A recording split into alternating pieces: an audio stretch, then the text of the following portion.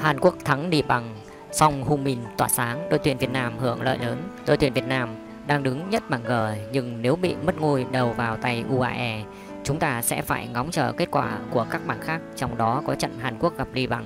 Ngày 13 tháng 6 đã diễn ra một cặp đấu trong khuôn khổ vòng loại thứ hai World Cup 2022 khu vực châu Á đó là giữa Hàn Quốc và Li Bằng. Dù được chơi trên sân nhà nhưng Hàn Quốc lại bất ngờ bị dẫn trước ngay ở phút thứ 12 và người ghi bàn cho Li Bằng là Alisat.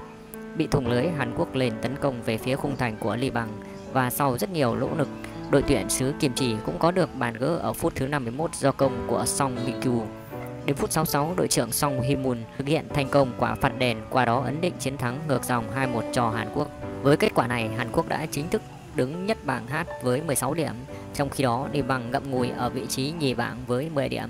Điều này cũng đồng nghĩa với việc Nì Bằng chắc chắn sẽ đứng dưới đội tuyển Việt Nam trong trường hợp đoàn quân của huấn luyện viên Park Hang-seo rơi xuống nhì bảng G. Hiện tại, đội tuyển Việt Nam đang dẫn đầu bảng G với 17 điểm. Nếu thất bại trước UAE ở lượt cuối và rơi xuống nhì bảng, chúng ta vẫn có 11 điểm sau khi trừ 6 điểm cho hai chiến thắng trước đội bét bảng Indonesia và đứng trên đi bằng. Đây là một tin rất vui dành cho đội tuyển Việt Nam bởi trước đó đội nhì bảng F cũng đã chính thức bị loại khỏi cuộc đua. Điều đó có nghĩa chúng ta chỉ cần đứng trên đội nhì bảng nữa, đội tuyển của chúng ta sẽ giành vé vào vòng loại cuối cùng của World Cup 2022 khu vực châu Á.